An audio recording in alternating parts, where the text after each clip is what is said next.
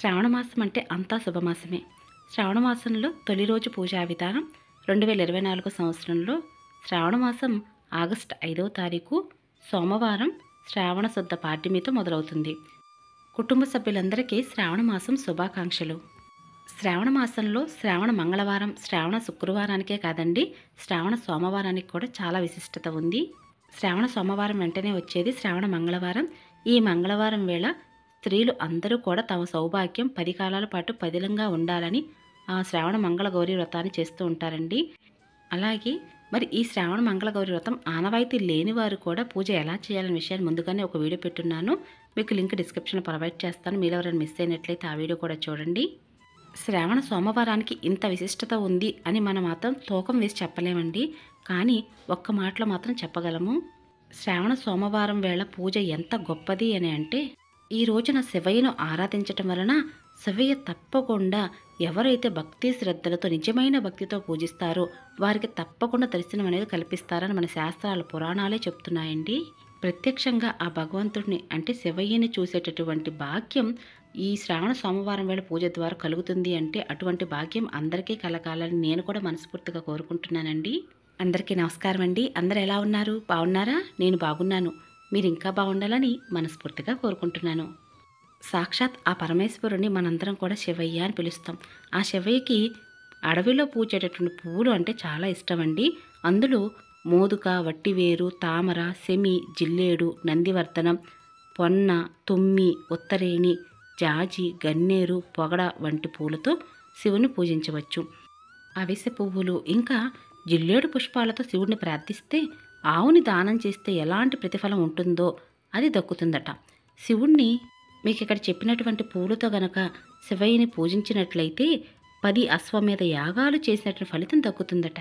అందుకే ఎంత విశిష్టతమైనది ఈ శ్రావణ సోమవారం. కాబట్టి ఎవ్వరూ కూడా మిస్ కాకుండా అందరూ అంటే పిల్లలు పెద్దవాళ్ళు ఆడవారు మగవారు అందరూ కూడా ఈ శ్రావణ సోమవారం వేళ శ్రావణ మాసంలో మొదలయ్యే మొదటి రోజున శివయ్యని అందరూ పూజించండి. ఒకవేళ ఇంట్లో పూజించడం కుదరని వారు గుడికైనా వెళ్ళి శివయ్యకి ఈ రోజున అభిషేకం చేయించండి. అత్యంత పవిత్రమైన శ్రావణ సోమవారం వేళ పూజ ఎలా చేయాలి? పాటించవలసిన నియమాలు ఏమిటి? పూజ విధి విధానము పూర్తి వివరంగా మీకు ఈరోజు పూజా విధానం చెప్పడం జరుగుతుందండి. పూజా విధానం ఎక్కడ స్కిప్ చేయకుండా చివరి వరకు చూసినట్లయితే ప్రతి ఒక్క విషయం కూడా చాలా చక్కగా అర్థమవుతుంది. శ్రావణ మాసానికి ఆ పేరు ఎలా వచ్చింది అంటే చంద్రుడు శ్రవణ నక్షత్రంలో ఉండడం వలన ఆ మాసానికి శ్రావణ మాసం అనే పేరు వచ్చింది. శ్రవణ నక్షత్రం స్వామివారి నక్షత్రం. కాబట్టి ఈ మాసంలో శివయ్యని శ్రావణ శనివారం వేళ వెంకటేశ్వర స్వామివారిని పూజించటం వలన ఇద్దరూ కూడా ఉప్పొంగిపోతారట. కాబట్టి ఒకరిని పూజిస్తే మరొకరు ఆనందిస్తారని మన పురాణాలే చెబుతున్నాయి. శుభకార్యాలు చేయడానికి ఈ శ్రావణ మాసం చాలా విశిష్టత కూడినటువంటి మాసం అండి. కాబట్టి అందరూ కూడా ఎదురు చూస్తున్నటువంటి మాసం శ్రావణ మాసం. అందులోనూ ఈ శ్రావణ మాసంలో పెళ్ళిళ్ళు వ్రతాలు పూజలు శుభకార్యాలు వంటి కార్యక్రమాలతో ప్రతిరోజు ఇల్లంతా కూడా సందడి సందడిగా ఉంటుంది. అందరూ అత్యంత పవిత్రంగా భావించే ఈ శ్రావణ మాసంలో ఆలయంలో ప్రత్యేకమైన పూజలు చేయిస్తే సకల సంపదలు చేకూరుతాయి. ఇంకా ఈ శ్రావణ మాసంలో ఆ పరమశివుడు సముద్ర మదనంలో వెలువడిన హాలాహలాన్ని శ్రావణ మాసంలో సేవించి నీలకంఠుడు అయ్యాడని పురాణాలు చెబుతున్నాయి. అందుచేత ఈ మాసంలో ప్రతిరోజు కూడా ఓ దేవుని పూజిస్తే అనుకున్న కార్యాలు త్వరగా నెరవేరుతాయట.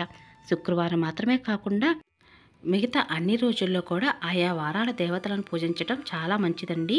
సోమవారాల్లో శివుడికి అభిషేకం మంగళవారం రోజున మంగళగౌరీ వ్రతం బుధవారం విటులుడుకు పూజలు అలాగే గురువారంలో గురుదేవుని ఆరాధన శుక్రవారాల్లో లక్ష్మీ తులసి పూజలు శనివారాల్లో హనుమంతుడికి తిరుమలేశునికి శనీశ్వరునికి భక్తులు ప్రత్యేకమైన పూజలు అనేది చేస్తూ ఉంటారు.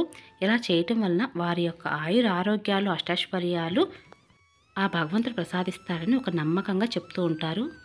శ్రావణ సోమవారం వేళ శివాలయాన్ని దర్శించటం ద్వారా పుణ్యఫలితం అనేది చేకూరుతుంది.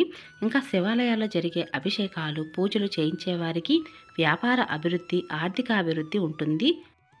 ఆలయాలలో పూజలు నిర్వహించడమే కాకుండా ఇంట్లో కూడా నోములు చేయటం శనగలను వాయనం ఇవ్వడం మంచిది.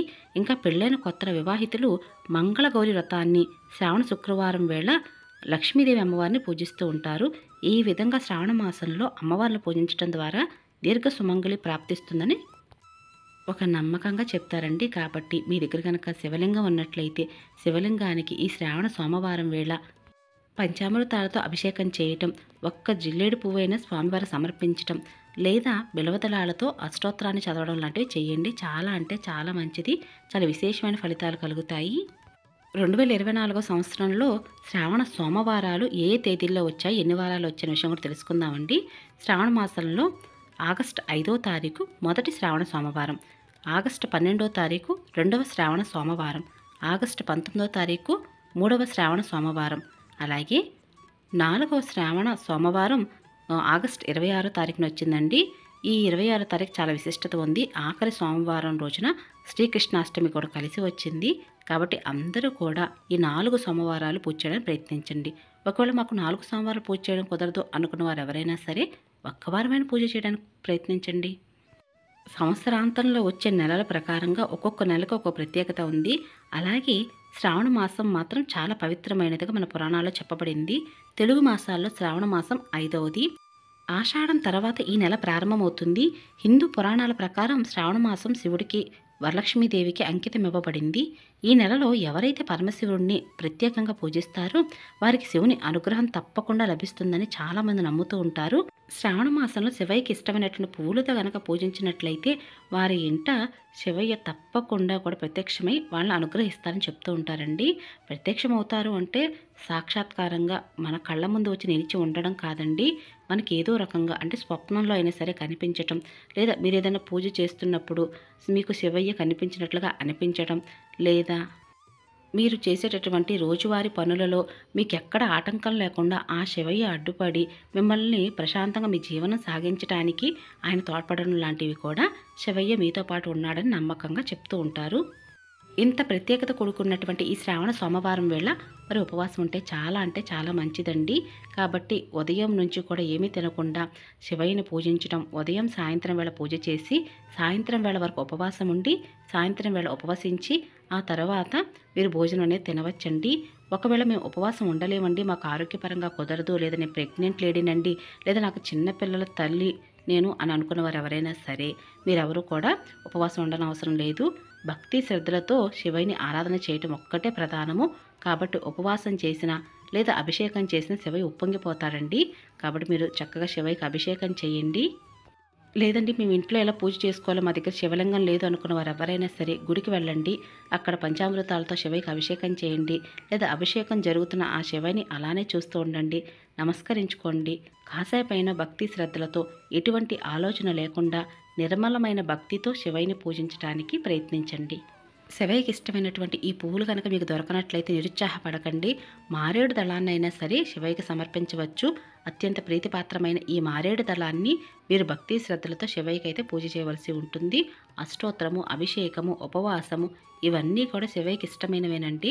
కాబట్టి ప్రతి ఒక్కరు కూడా ఇంట్లో ఇలా అభిషేకం చేయటం చాలా అంటే చాలా మంచిది. ఈ శ్రావణ సోమవారం వేళ మీరు ఈ పూజా విధానం దేవుని మందిరంలో కూడా పూజ అనేది చేయవచ్చండి లేదా సపరేట్గా పీఠాన్ని పెట్టవచ్చు. ఒకవేళ మీరు కనుక సపరేట్ పీఠం పెట్టినట్లయితే మాత్రం సోమవారం వేళ పూజ చేసుకొని మరుసటి రోజు శ్రావణ మంగళవారం వచ్చింది కాబట్టి మంగళవారం వేళ మంగళగౌరి వ్రతాన్ని కూడా ఆచరించవచ్చు. ఆనవాయితీ లేని వారు కూడా పూజ ఎలా చేసుకోవాలి సులభంగా అనే విషయాలని నియమాలని నేను అన్నీ కూడా ముందుగా నాకు వీడియో పెట్టున్నానండి. కాబట్టి మీకు డిస్క్రిప్షన్ లింక్ ఇస్తాను ఒకసారి చూడండి. మీ దగ్గర కనుక శివలింగం లేనట్లయితే విభూది పండును కూడా మీరు పూజలో పెట్టుకోవచ్చు. శివయ్య విగ్రహం లేకపోయినా లేదా శివలింగం లేకపోయినా సరే విభూది పండుకి శివయ్యే అనుకుని నమస్కరించుకొని ఆ శివలింగాకారానికి అష్టోత్తరం చదవవచ్చు. ఇవేమీ లేకపోయినా మీ దగ్గర శివయ్య పట ఉన్నా చాలండి. పటానికి పూజ అనేది చేయవచ్చు. ఇంకా మీకు ఏమైనా పూజల సందేహాలు ఉన్నట్లయితే మాత్రం కింద కమెంట్ సెక్షన్లో అడగడం అసలు మర్చిపోవద్దు. మీకు తప్పకుండా సమాధానం చెప్తాను. ఇక ఇదేనండి ఈరోజు పూజా విధానం. మీ అందరికీ నచ్చింది యూస్ఫుల్ అవుతుంది అనుకుంటున్నాను మీకు కనుక ఈ పూజా విధానం నచ్చినట్లయితే మీ ఫ్రెండ్స్కి రిలేటివ్స్కి ఫార్వర్డ్ చేయండి. అలాగే లైక్ చేసి షేర్ చేసి కామెంట్ ఇవ్వండి. మరొక మంచి పూజా విధానంతో మళ్ళీ కలుసుకుంటానండి. ఇక అప్పటి వరకు నమస్కారం అండి